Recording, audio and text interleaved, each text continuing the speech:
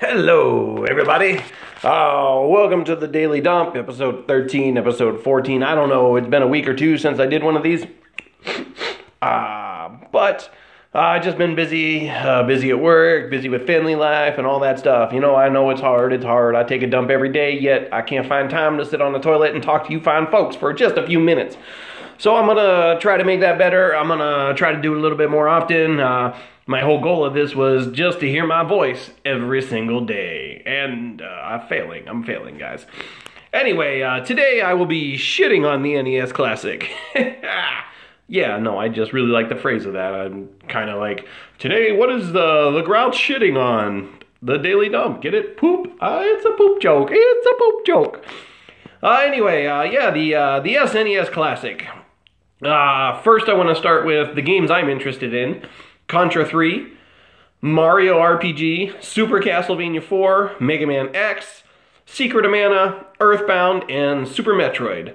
Uh, the other one on there is F-Zero, but to be honest, I own the F-Zero cartridge, and I play the hell out of that.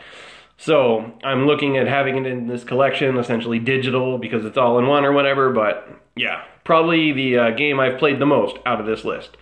Um, the Japanese version is getting a Fire Emblem game, which I really think they should have thrown one over to us here in the uh, the U.S. as well. But whatever, the Japanese always get the better stuff from Nintendo, don't they? And then uh, I really wanted to give a shout out to Amazon in the UK for uh, how they're handling the pre-orders. And I want to say that I'm very disappointed, and I understand why, but I'm kind of pooped on that I haven't had a chance to actually pre-order this myself. I can't wait to get a copy, put it next to my Super Nintendo, next to my NES Classic.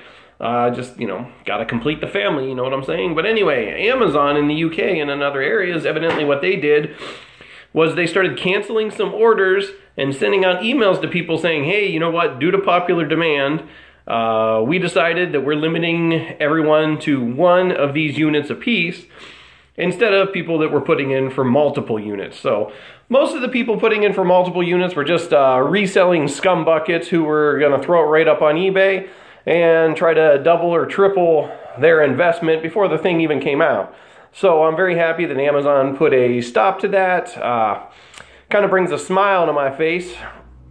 Um, so anyway, uh, this is the Grouch. This was the Daily Dump. I took my shit on the NES Classic, and uh, uh, if anybody actually listens to this, and I think there's like maybe three of you out there, what do you want to hear me talk about? Uh, what what would pique your interest? What do you want me to do?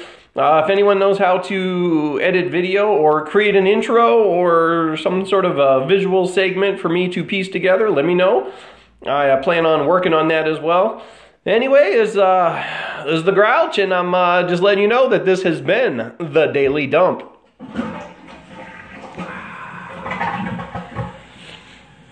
You like that, don't you?